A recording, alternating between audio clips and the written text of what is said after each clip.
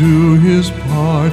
Can you imagine up in heaven the joy there is that day? As a sinner bows his head to pray, can't you hear the Father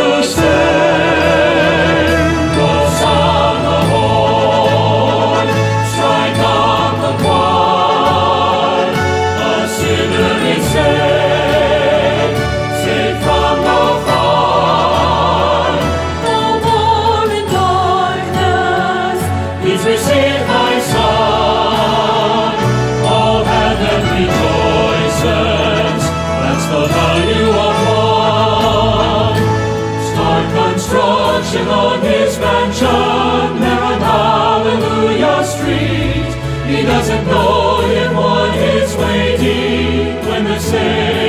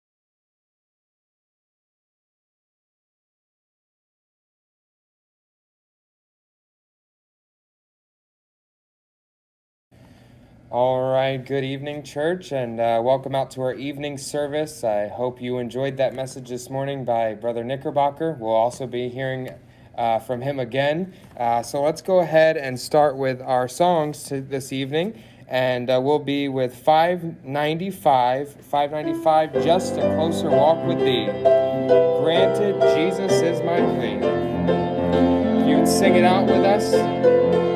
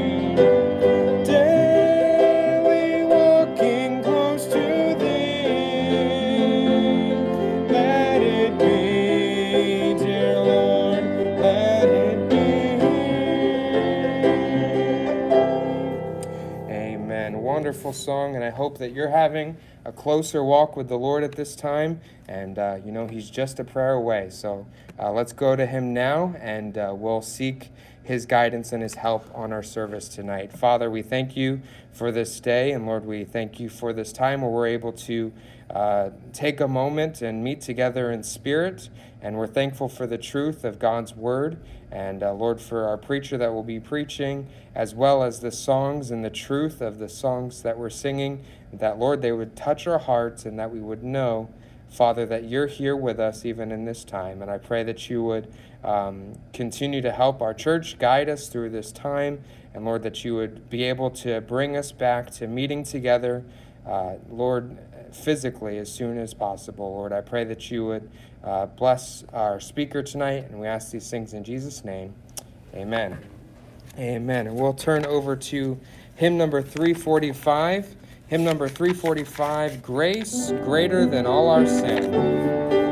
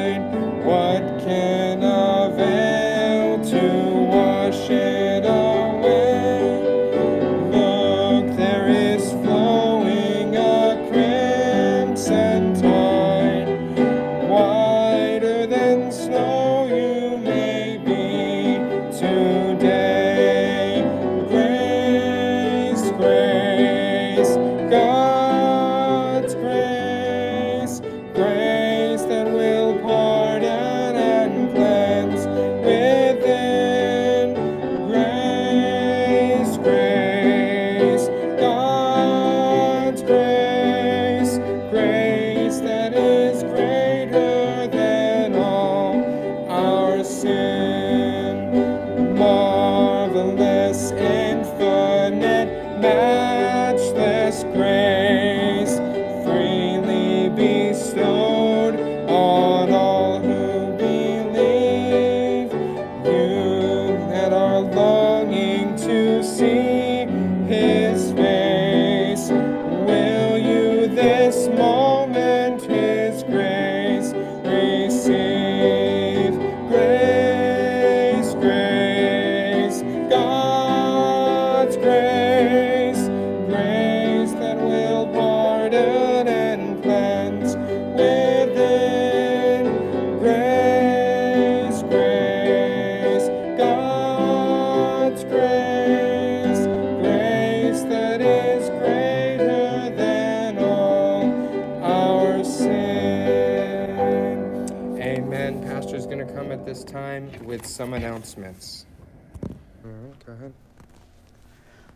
Hello and good evening, everyone, and uh, happy Mother's Day again to all the moms.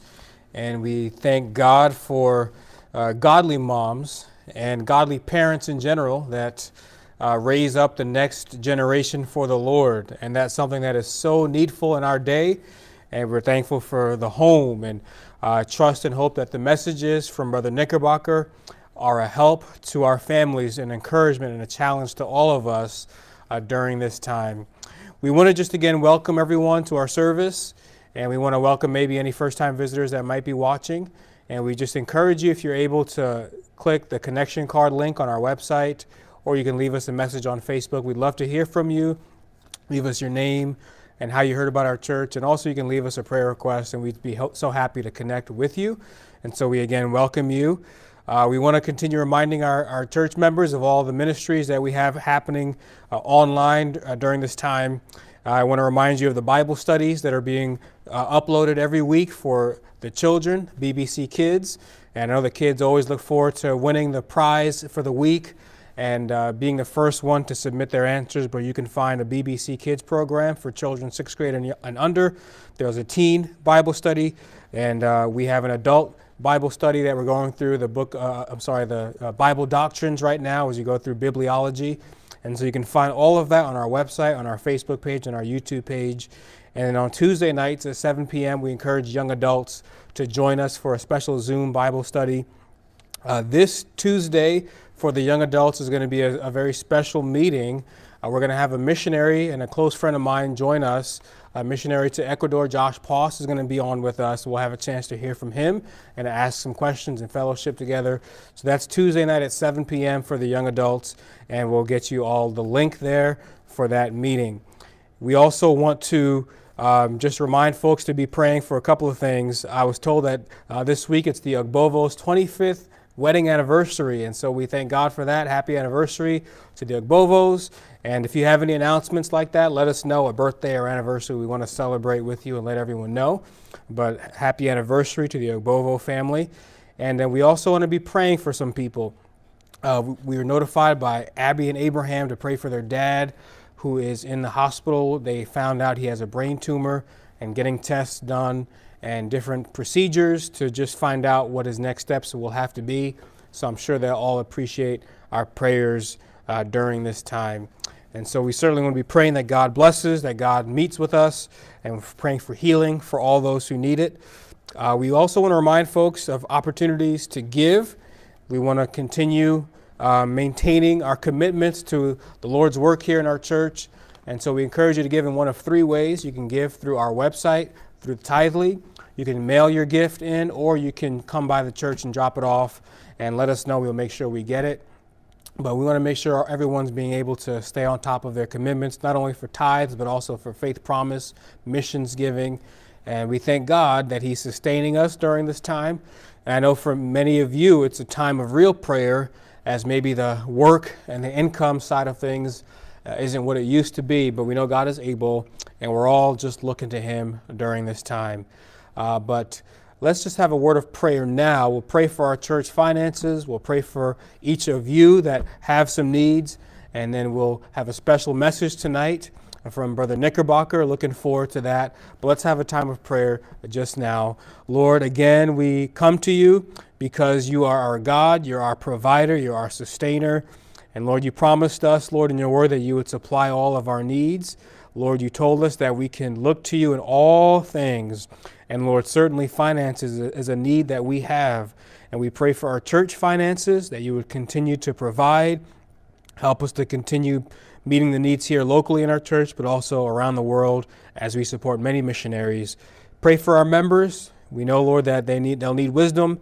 Uh, many of them, uh, it could be a difficult time financially. There may be some pressure there. But I pray there wouldn't be a cause for fear or doubt or worry, but that even more, that we would lean on you and rest in you and trust in you. And so, Lord, just keep providing, keep blessing, and I pray that we would keep trusting. We pray all of this in Jesus' name. Amen and amen. Uh, before we have our message from Brother Knickerbocker, we're going to have a very special uh, song done by Sister Rena on the piano. And so I know it will be a blessing to you. And then we are so thankful to have our special speaker tonight, uh, Brother Dan Knickerbocker, all the way from Texas, recording his message. And I know it'll be a help to your family. And so keep your Bibles handy and ready, be uh, listening and participating, and be ready to receive the truth that God has for us this evening.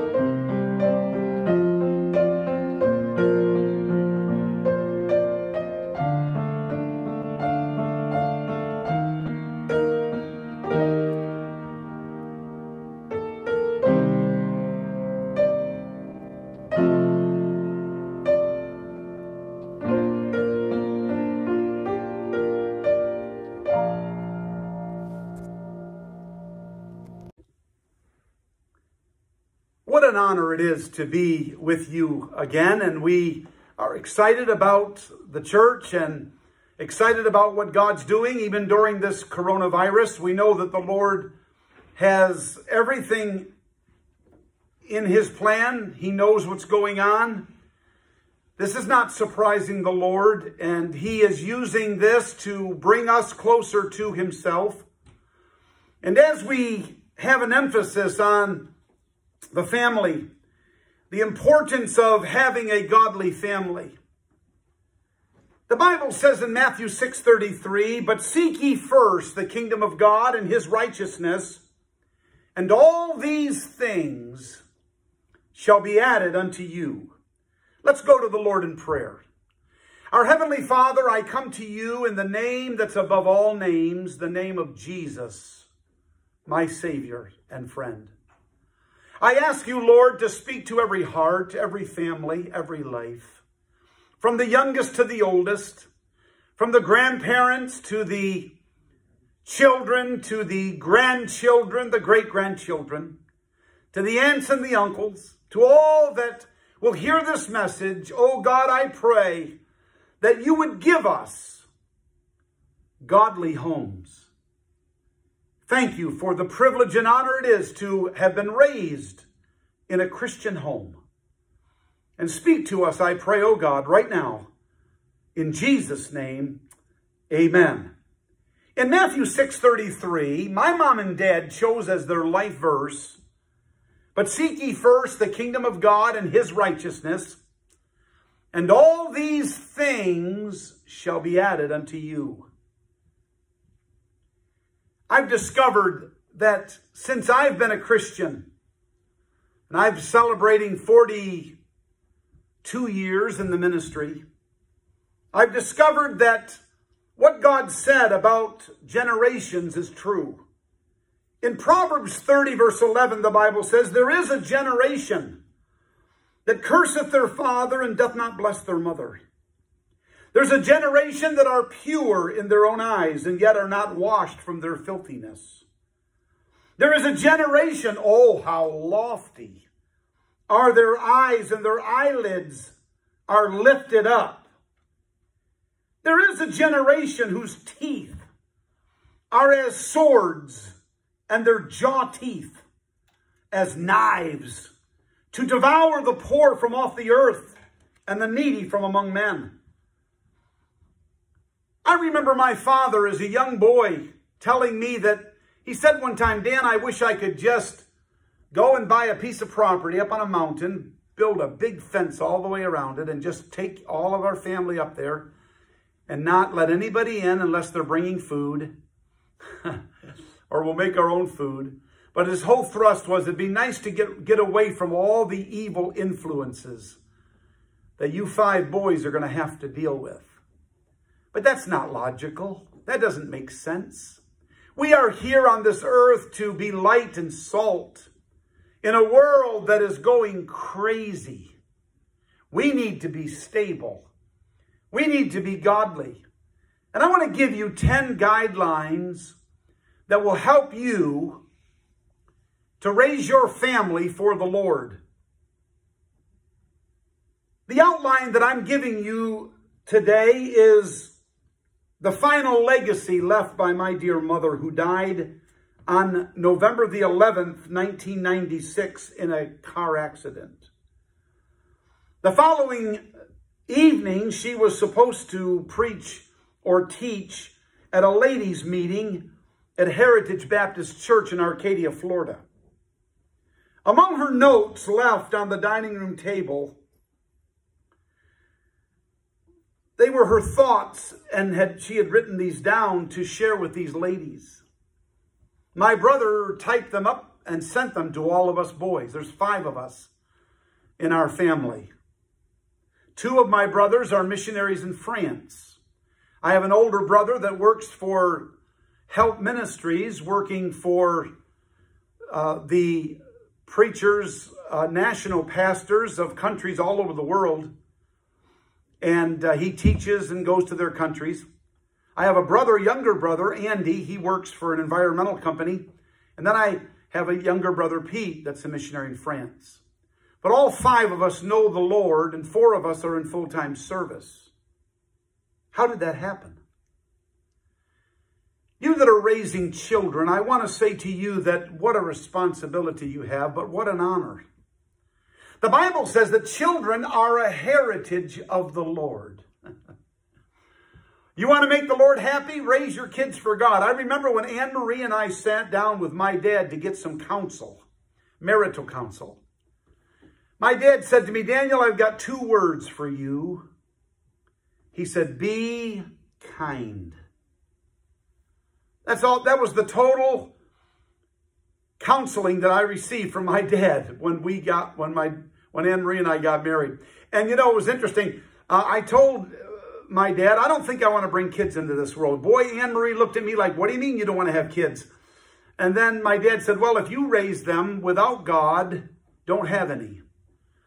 But if you have children, raise them in the nurture and the admonition of the Lord. And then I realized how stupid a statement that was that I had made. God gives us those children to raise and to glorify and honor God. Let me give you those 10 things that my mother had written down. Number one, be prayerful. The Bible says, pray without ceasing. We are always to be in the attitude of prayer and praise. We're to rejoice in the Lord always, Paul said. And then he mentioned, and again I say, rejoice. My mother, every morning, when she would get up, she would get a shower and then she'd make breakfast and then she'd come to our, our rooms and uh, wake us boys up and say dinner is on, breakfast is on the stove. And then she'd go to her chair in the living room and she'd read her Bible and she'd pray. If I got up early, she was reading her Bible. If I got up late, she was on her knees praying. Wow, what an impact that had on me. I knew that my mother believed in God and that she gave my name to God every day in prayer. I will never forget when I was older, had turned into being a teenager, and I went to a preacher's meeting. I thought it was a youth rally, but I got there and heard 15, 16 messages. On the 15th message, God called me to preach. When I got home, my mom and dad met me at the door and they said, Daniel, what happened? And you could see the anticipation in their eyes. What happened, Daniel? I said, God called me to preach. And they said, you know, every day we got on our knees at the couch and prayed for you every day. We said, oh God, get a hold of Daniel's heart. We don't want to lose him for the Lord's work. See, they feared that I might turn my back on the Lord. But they prayed and God answered. I'll never forget when God called me into the ministry. I knew that it was the will of God and it thrilled me. It was something that happened. It was like when I got saved. I was thrilled that I was forgiven of my sins. But now, because of the prayers of my parents and the, the all of the sacrifice and the energy that they put forth to raise us five boys. That's why we're serving the Lord. It's not by accident. It's by the careful, diligent, loving, kind, faithful leadership of our parents that now we are privileged to share with others what great things they shared with us. Number two, be an example to the believer. Teach them by example. You don't say to your children, do as I say, not as I do. No, you teach them by showing them the good and the right way. Being an example to the believer, the Bible talks about that. We're to be an example to the believer. I often thought, why didn't God put we're an example to the lost? Because certainly we need to be. But here's what the Lord was trying to get across. How can a parent raise a child for God if they're not setting an example? Did you know that the dearest thing to your life and heart ought to be those that God gives you? Whether it be a pastor and his congregation, whether it be a father and mother and their children, whether it be children and their parents, there ought to be an example set forth. I have heard parents say to me, my kid's a better example for a Christian than I am. And I've seen parents that have set such a good example that their children just followed it. And it was like, it was like automatic. Really what happened was God did something in the heart of the parents that caused God to do something in the heart of the children that resulted in their believing and living the Christian life so they were an example to those that were following them. You teach by example. Number three, be united with your husband. Be united with your husband. The Bible says in Ephesians 5.21, submit yourselves one to another in the fear of God. I want you to notice that. Sometimes the husbands have a tendency to say, well, the Bible says you're supposed to submit. Well, the Bible does say that the wife is to be submissive. But the husband is to love. Wives have no trouble loving, where uh, no, no trouble submitting where there's true love. We understand that.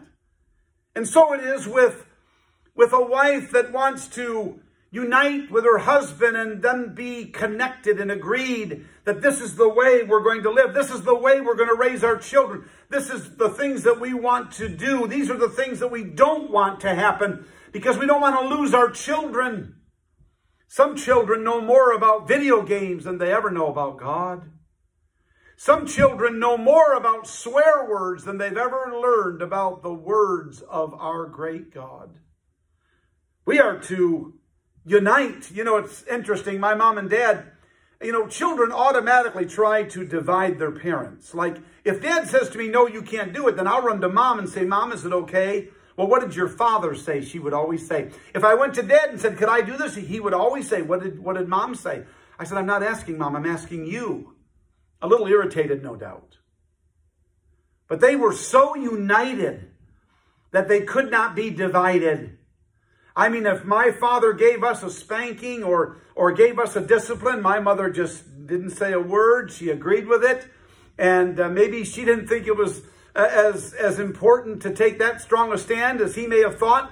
She just bit her tongue and she said, Lord, you know, and you've given him the responsibility that he's going to give an account one day for all of us.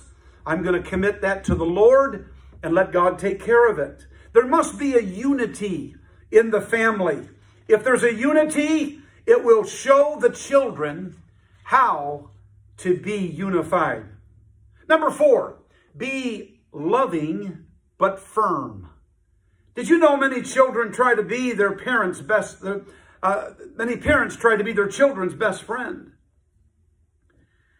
Did you know that we're not to be, we're not to be our children's best friend. We're to be their example as a leader and as a parent. Doesn't mean we can't love them and do wonderful things with them and have wonderful times with them, but we are there to minister to their needs.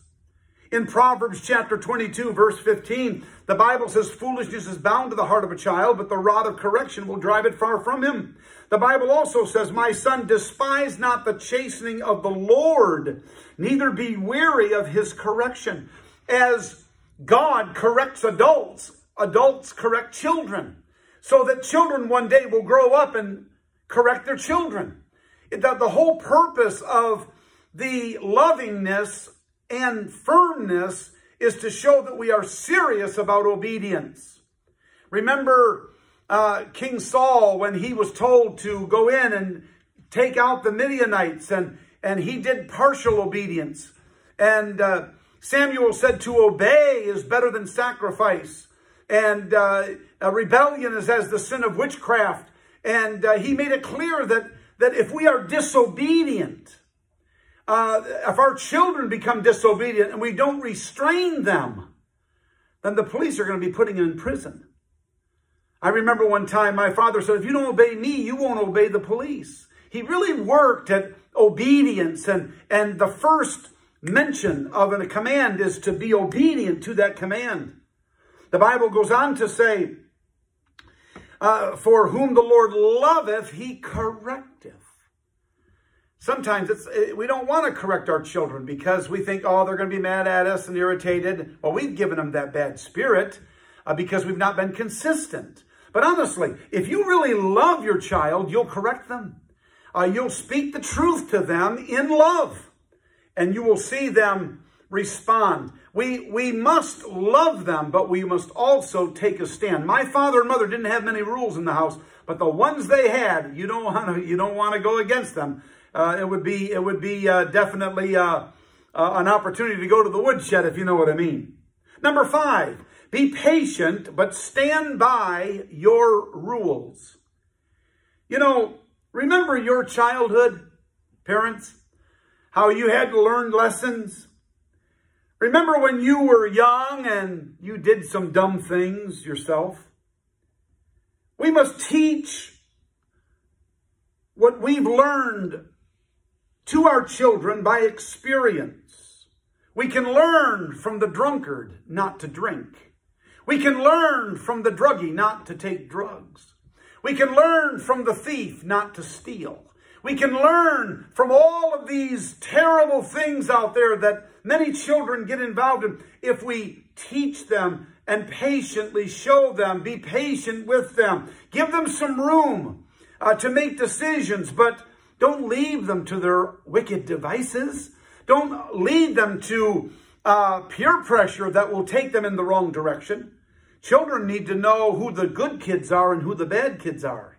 And re refrain from being with the bad kids and stick around with the good kids.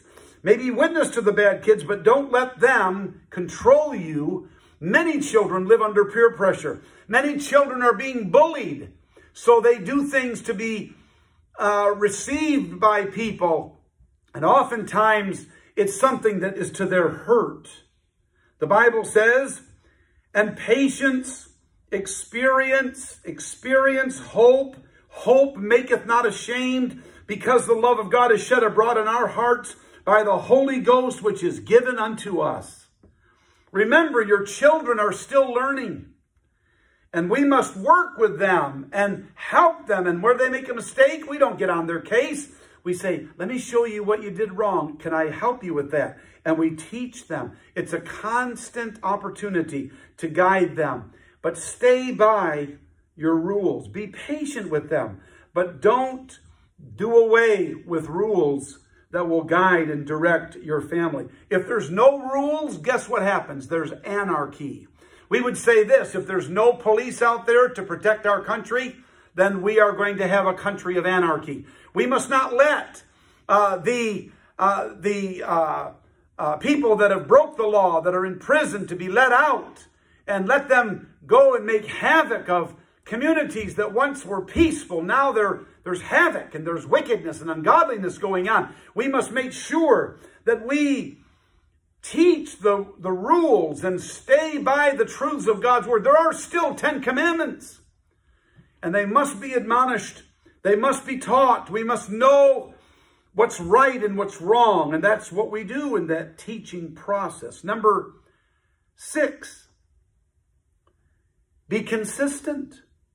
Be consistent. The Bible says in James 1, 6, but him, but let him ask in faith, nothing wavering, for he that wavereth is like a wave of the sea, driven with the wind and tossed. For let not that man think that he will receive anything of the Lord. Here it is. A double-minded man is unstable in all of his way. I've never seen such instability among families as I do in 2020. Wow, people are so up and down, inconsistent. They're telling their kids to do one thing, they're doing something else. You can't live in private doing wrong things and expect God to use you in public. There are those that do live a double standard. There are those that, that, that uh, live a double life. But it's no place for the Christian. We must be consistent.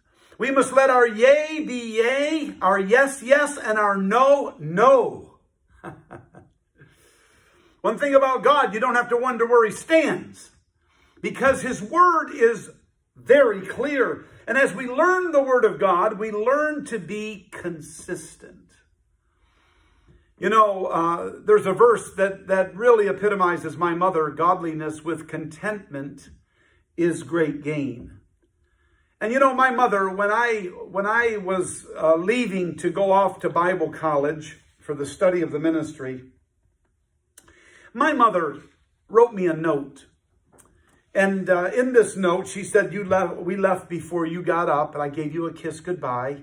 We're going to miss you while you're in college but keep a high standard of living. I will never forget that. And you know, that's helped me all these years. I don't want to dis dis disrespect or, uh, or uh, dishonor my mother, but I don't want to dishonor God. And she set the example and said, keep a high standard of living. Don't, don't, don't allow yourself to get involved in things that that would show your inconsistency or that would make you inconsistent. That's one of the things we battle as preachers. Because there's so many temptations that come our way and so many uh, situations where we have to we have to die to self and become alive unto Christ and uh, we have to not let our good be evil spoken of and we, we have to abstain from all appearance of evil. We can't be inconsistent and lead others also. And then I want you to notice number seven, be protective. I think it's very important that parents protect their children. The Bible says, Be not deceived, evil communications corrupt good manners. I could tell you story after story of people that have gotten away from God by evil communications. They got on the internet, they got into going to places that they should not go, and before long they had no desire to go to church anymore because they were living for their flesh. You must protect your children. My parents didn't let us have a TV in the home. And I'm not saying it's wrong to have a TV, but you better have it under control. Don't watch something that Jesus wouldn't watch. Is that a good standard? If, if there's cursing and sinfulness and all kinds of debauchery going on, turn it off. Don't watch stuff that you wouldn't want your children to watch. I'm saying we must protect our children. There are so many temptations out there, and they're going to find out much more than you'll ever know they know. In fact, they may know things that you don't even know because of areas that they've gone on the internet, things that they've come across that have drawn their attention and their flesh. We have three enemies, the world, the flesh, and the devil. If the world can't get you, your flesh will get you. And then when those two don't work, the devil will come after you. I'm simply saying that we must protect our children. We must make sure that we give them proper education. We must make sure that they are always in church. We must make sure that we set the right guidelines and set limitations. I remember one time I, uh, I told my dad, I said, hey, Dad, I think I'll grow long hair. he said, where are you going to live? And that was it. That was it. I thought, you know, do I want to trade in my, my warm bed, my meals every day, my clothes being washed, to live in the street so I can have long hair? I don't think so. You see what I'm saying? When, when, when parents want to protect you, they're going to say there's guidelines that we're going to go, we're going to stay within. Perimeters where we don't go outside of those perimeters. For we could fall into bad things, and we don't want that to happen. I, I thank God that my parents protected me. Number eight, be careful about spoiling your children. The Bible says in Colossians chapter 3, verse 25, But he that doeth wrong shall receive for the wrong which he doeth. And there is no respect of persons. Be careful about spoiling your children. Don't give them too much. Make them earn. If you want to give them an allowance, make them earn it. Give them responsibilities, help them and make them finish the job. Don't, don't, don't let them start something and then not finish it. Many children today will go and take a job and they'll not like it the first day or the first week and then they just they just walk off. They don't even tell the person they're leaving. They're, they're, they're just, I, have talked with some store owners that, that are flabbergasted by coming in late, uh, not being dressed right, all kinds of things because the parents never set forth an example. They just let them do what they want. Uh, so I've heard this phrase, they're going to do what they want anyway. No, not as long as they're under your roof. Uh, take away their phones if you need to.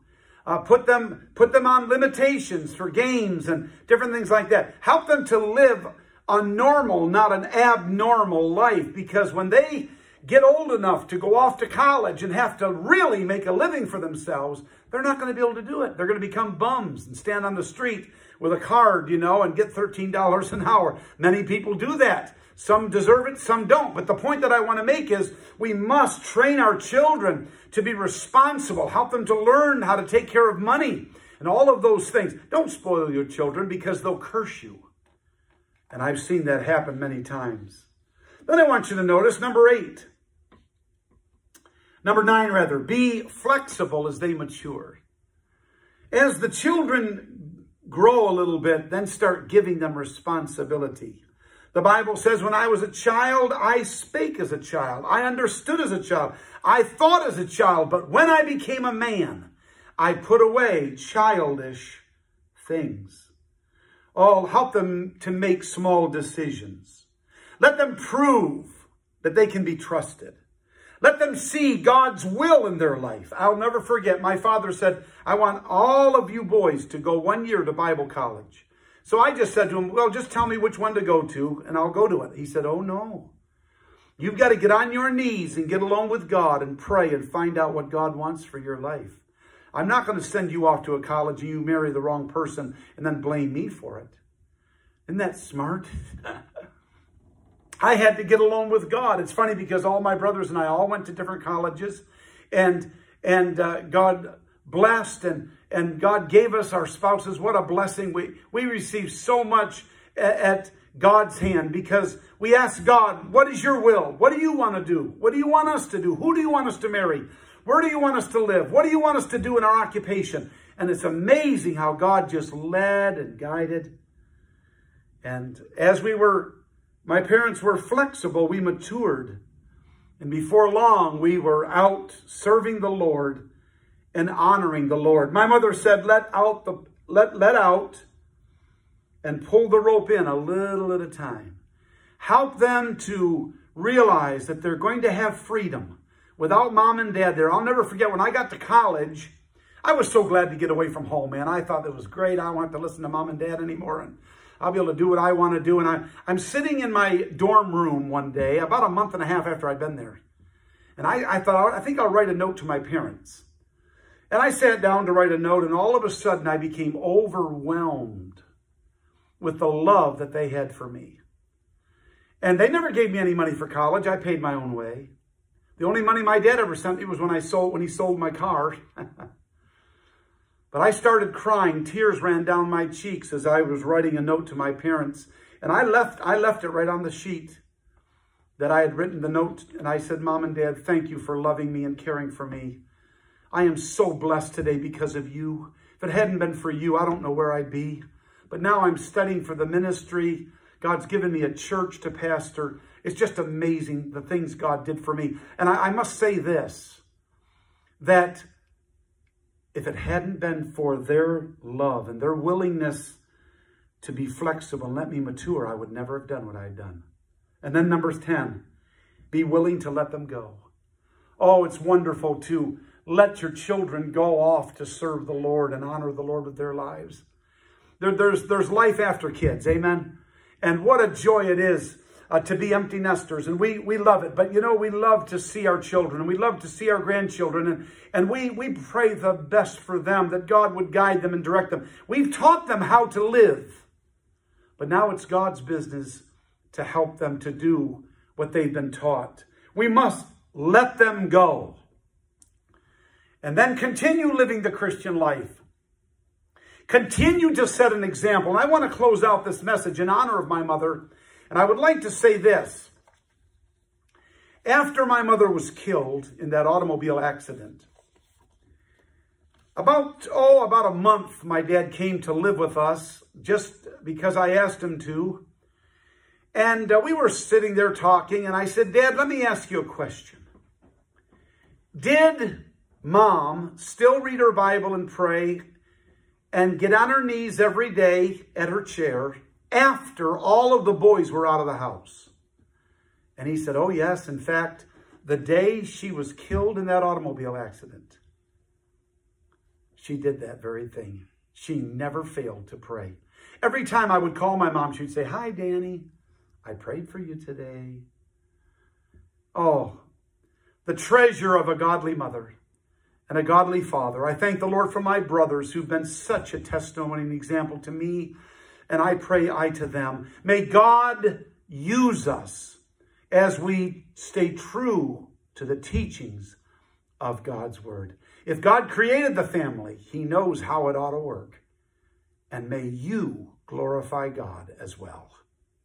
Let's bow together. Our Heavenly Father, we come to you in the precious name of Jesus the Savior for sinners slain. Buried, rose again, is seated at the right hand, making intercession for us. Thank you, Lord, for being there for us. Guide us and direct us and lead us in the good and the right way. May we serve you all the days of our life. And may those that are under the sound of my voice, may they put these 10 truths to practice. And may it cause their families to give you pleasure as well. In Jesus' name, amen. Amen. We are so thankful for that timely challenge to our families, to all of us as believers. And I just want us, as we conclude our service here in just a moment, I'm going to close with a word of prayer. But I'm going to ask you folks listening at home if you would gather around with whoever is there with you. And can we just pray for our families tonight? You dads, you moms, gather your kids with you and pray for your family. Pray for God's protection, for, for God to guide you and direct you in these days as our, we have an enemy that seeks to wreak havoc in our homes. And pray for all of the families of our church. Pray for my family. And all of us need prayer tonight regarding this important, important building block of our church, of our society. I'm going to close with prayer, but again, as we close our meeting tonight, you pray at home and let's make this a matter that we bring before the Lord. Heavenly Father, thank you so much for all that you're doing. Thank you for Brother Knickerbocker and his spirit and his obedience to you as he shared the messages that you've laid on his heart today. And I pray that we would not just be hearers, but we would be doers. Lord, we pray that you would bless and honor the Christian homes in our church. Bless each dad, bless each mom, bless the children that we would all fulfill the biblical roles that you've given to us. And Lord, may we in our homes, Lord, be an example to the lost and dying world around us of what Jesus Christ can do when we give him our all.